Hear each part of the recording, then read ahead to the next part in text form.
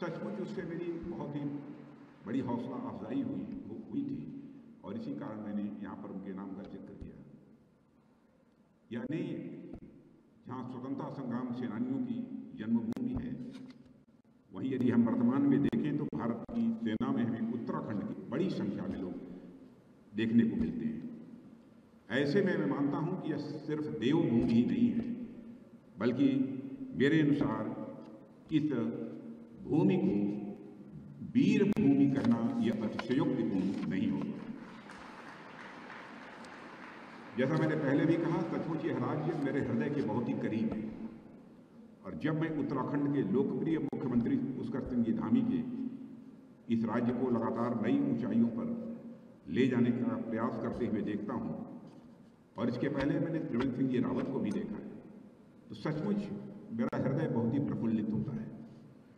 आप सबके मुख्यमंत्री और हम सबके प्रिय पुष्कर सिंह जी धामी जिस प्रकार से दिन रात उत्तराखंड को आगे बढ़ाने के लिए प्रयत्न कर रहे हैं, स्वाभाविक रूप से वो प्रशंसा के योग्य है। मैं महादेव से प्रार्थना करता हूँ कि ईश्वर इनके नेतृत्व में उत्तराखंड को और नई ऊंचाइयों तक ले जाए। साथियों, जब मैं यहाँ उत्तराखंड में आया हूँ तो यहाँ आना कई कारणों से यह विशेष बन जाता है। एक कारण तो यही है कि एक बार फिर से आप सब उत्तराखंड के साथियों से मिलने का अवसर मिल रहा है। और दूसरा विशेष कारण है कि आज हम सब टाउन्स ब्रिज स्कूल में भारत के पहले चीफ ऑफ़ डिफेंस स्टाफ और भारत के लाल और सबके प्रिय स्वर्गीय जनरल बिपिन रावत जी की प्रतिमा का अनावरण जिस अवसर पर हुआ है, उस अवसर पर हम सभी यहाँ एकत्र हुए जब जनरल बिपिन रावत जी का मैंने नाम लिया तो स्वाभाविक रूप से मेरे स्मृति पटल पर वह यादगार अंकित हो गई जब मैंने रक्षा मंत्री के रूप में अपना दायित्व तो संभाला था तो उसके दूसरे दिन ही मैंने टेलीफोन उठाकर जनरल बिपिन रावत जी को कहा कि मैं सियाचिन जाना चाहता मैंने सोचा कि सियाचिन जाने की बात मैं कर रहा हूँ तो कम से कम दो दिन, तीन दिन का वह समय लेंगे। उन्होंने कहा, सर, कब जाना चाहते मैंने कहा कि तैयारी हो तो मैं कल भी चलने को तैयार हूँ। तो उन्होंने कहा, कल पूरी तैयारी रहेगी। और सचमुच जाकर जो मैंने देखा इस प्रकार की उन्होंने व्यवस्था की थी। और जिस प्रकार की जानकारियाँ वहाँ जाने के बाद उन्होंने मुझे हासिल कराई। आज भी वो हमारे स्मृति पटल पर पूरी तरह से अंकित है। उस दिन की याद पूरी तरह से मुझे तरोताजा है। और उनके व्यक्तित्व के बारे में उत्तराखंड के लोग ही नहीं, मैं तो कहता हूँ कि देश के जितने भी जागरूक लोग हैं, वो अच्छी तरह उनके बारे में जानते हैं। और इस कार्यक्रम में आप लोगों ने मुझे चीफ गेस्ट के रूप में आमंत्रित किया है। इसके लिए मैं स्वर्गीय बिपिन रावत जी के परिवार का और स्कूल प्रशासन का। और आप सभी का हृदय से मैं धन्यवाद करता हूँ। साथियों, आज जब मैं आप सबके बीच यहाँ पर उपस्थित हुआ हूँ तो मैं एक तो स्वर्गीय बिपिन रावत जी की मूर्ति के अनावरण के ऊपर आप सबसे कुछ बातें करना चाहूँगा। और दूसरा, मैं इस मुद्दे पर भी बात करना चाहूँगा। आखिर इस मूर्ति के अनावरण किसी स्कूल में ही क्यों हो रहा है? स्कूल आखिर इस मूर्ति के लिए सबसे उचित जगह क्यों है? साथियों, मूर्तियों का हमारे समाज में तथा हमारी संस्कृति में बहुत ही महत्वपूर्ण स्थान है। इसे सभी स्वीकार करेंगे। मूर्ति चाहे किसी भी की, किसी की भी हो, प्रथम दृष्टया तो देखने में यही लगता है वह बस एक मूर्ति है, एक स्टैचू है। लेकिन एक स्मृति के रूप में, समृद्ध विरासत के रूप में, इतिहास के हिस्से के रूप में, तथा भविष्य की प्रेरणा के रूप में, मूर्तियों का मैं मानता हूँ एक बहुत बड़ा महत्व होता है। मूर्तियाँ हमारे इतिहास, हमारी स्मृति का एक अभिन्न अंग हो जाती है। मूर्तियाँ आदर्श के रूप में लंबे समय तक हमारे बीच यह जीवित रहती हमारी तो पूरी संस्कृति ही मूर्तियों के इर्द गिर्द घूमती है। मूर्तियों का महत्व, भला हम मूर्ति पूजकों से ज़्यादा अच्छी तरीके से और कौन दूसरा समझ सकता है? हमारे लिए मूर्तियाँ, ये प्रेरणा का ये केंद्र होती है। वह मूर्ति यदि विपिन रावत जी की हो तो यहाँ के छात्रों के लिए तथा आसपास के निवासियों के लिए इससे अधिक प्रेरणादायी, भला और क्या हो सकता विपिन रावत जी, आज भले ही हमारे बीच नहीं है, लेकिन इस मूर्ति के माध्यम से हम उनकी छवि को देख पा रहे हैं। जिस मूर्तिकार ने यह मूर्ति बनाई है, बहुत अच्छी मूर्ति बनाई है। जीवंत मूर्ति बनाई, उस मूर्तिकार को भी मैं बधाई देना चाहूँगा। और वो प्रतिमा देखने के बाद मैं ये महसूस कर रहा था कि स्वर्गीय विपिन रावत जी, इस समय हम लोगों के बीच मौजूद हैं।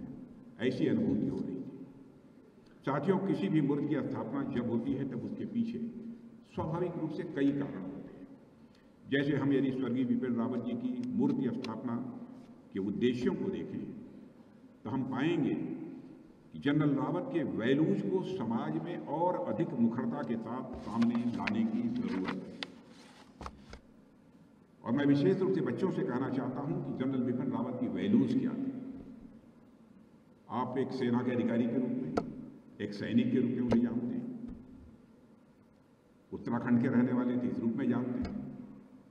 इस देश के आर्मी चीफ रहे, इस रूप में जानते हैं। चीफ ऑफ़ डिफेंस स्टाफ रहे, इस रूप में जानते हैं। लेकिन जनरल बिपिन रावत को साथ काम करते हुए जो कुछ भी उनके बारे में अनुभव में मैंने किया है,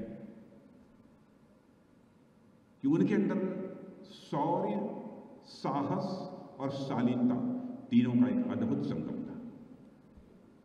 शौर्य भी था, साहस भी था और शालीनता भी। और यह तीनों चीज़ों की, तीनों चीज़ों किस तीनों चीज़ें किसके अंदर हो सकती हैं? मैं कहूँगा यह तीनों चीज़ें उसी के अंदर हो सकती हैं जो स्पिरिचुअल हो, जो आध्यात्मिक हो। यदि यहाँ मैं आध्यात्म की बात कर रहा हूँ हूँ सहज रूप से लोग मानते होंगे कि मंदिर में जाकर पूजा करना, मस्जिद में जाकर इबादत करना गिरजाघर में जाकर सजदा करना, यही अध्यात्म है। मैं विशेष रूप से बच्चों से कहना चाहूँगा कि यह अध्यात्म नहीं है। यह स्पिरिचुअलिज्म नहीं है। जो स्पिरिचुअल होगा, वही बहादुर होगा। जो स्पिरिचुअल होगा, वही शालीन होगा। जो स्पिरिचुअल नहीं है, न उसके अंदर शौर्य हो सकती है, न साहस हो सकता है, न शालीनता हो सकती है। आप ये कहेंगे कि किस आधार पर आप ये बात कह रहे हैं? मेरा यह मानना है कि मंदिर मस्जिद में सब जाकर ये जाना एक उसका पार्ट है, एक भाग है, इसको मैं नकारता नहीं लेकिन मन का बड़ा होना, मन का एलिवेटेड होना, मन का एलिवेशन यह अध्यात्म है। आपका मन जितना ही बड़ा होता चला जाएगा, उसी रेशियो में, उसी अनुपात में आपकी आध्यात्मिक ऊंचाई भी बढ़ती चली जाएगी। मन का बड़ा होना। मन बड़ा होगा तो आप चाहे जिस प्रकार की परिस्थिति होगी, आप सुख की अनुभूति करेंगे, आनंद की अनुभूति करेंगे। और जितना ही मन बड़ा होता चला जाएगा, उतने ही अधिक आनंद की आप अनुभूत करेंगे। और एक बात हमारे यहाँ कही गई है कि जीवन में परमानंद की प्राप्ति, यानी मोक्ष की प्राप्ति की जो बात कही गई है, वो बहुत बड़े मन के लोग होते हैं, उन्हें ही मोक्ष की प्राप्ति होती है। तो मैं कहता हूँ जनरल बिपिन रावत जी आज हमारे बीच नहीं है, भले ही प्रतिदिन जाकर उन्होंने मंदिर में पूजा नहीं की होगी लेकिन जिस दायित्व का उन्होंने निर्वहन किया है और जो शहीद हुए हैं, उनको मोक्ष की प्राप्ति निश्चित रूप से हुई अब मैं यहाँ पर मैथमेटिक्स के भी बच्चे बैठे होंगे, इसलिए थोड़ा सा मैथमेटिक्स के फॉर्मूले से बतलाना चाहूँगा। थोड़ी देर के लिए समझ लो कि आपका मन एक सर्किल है। थोड़ी देर के मान लो let us consider that your मन इज़ सर्किल और मैं ये कह रहा हूँ, इस मन, यानी यानी सर्किल इसका सर्कुल सर्कमफरेंस जितना ही बढ़ाते चले जाओगे, उसी रेशियो में सुख की मात्रा, आनंद की मात्रा बढ़ती चली जाएगी, यानी मैग्नीट्यूड ऑफ़ सुख, मैग्नीट्यूड ऑफ़ आनंद, उसी रेशियो में बढ़ता चला जाएगा।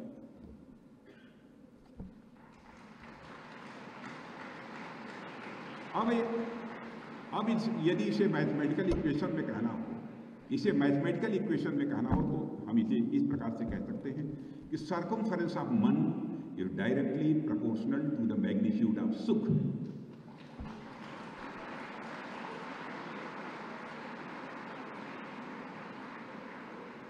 Circumference of man is directly proportional to the magnitude of anand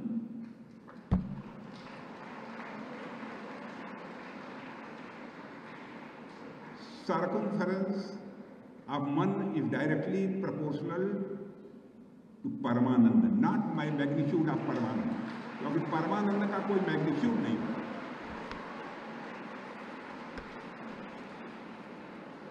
इसीलिए मैंने कहा कि जनरल बिपिन रावत जी